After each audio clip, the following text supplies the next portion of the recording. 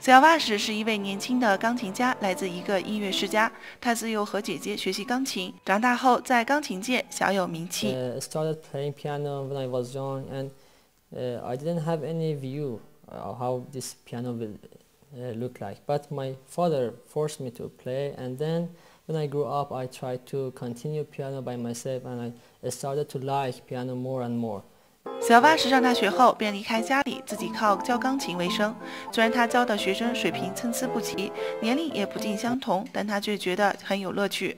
在德黑兰，私人举办钢琴独奏音乐会并不容易，但小瓦什却想尽办法，时常为他的学生举行一些室内音乐会，来鼓励他们对钢琴的热爱。It's a very good chance, and maybe it's the best chance for students to play in the concert, and it's like an opportunity for them. 比起国外，伊朗的钢琴家们水平并不差，但是由于与外界缺乏交流，钢琴发展并不乐观。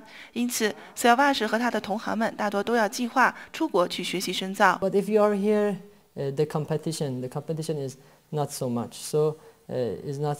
This is also one of the resources. When you you you do not have any competitor, then you will not improve. So you need some competitor to improve. Maybe one of the ways is to go abroad and then you find some competitors and you can improve yourself.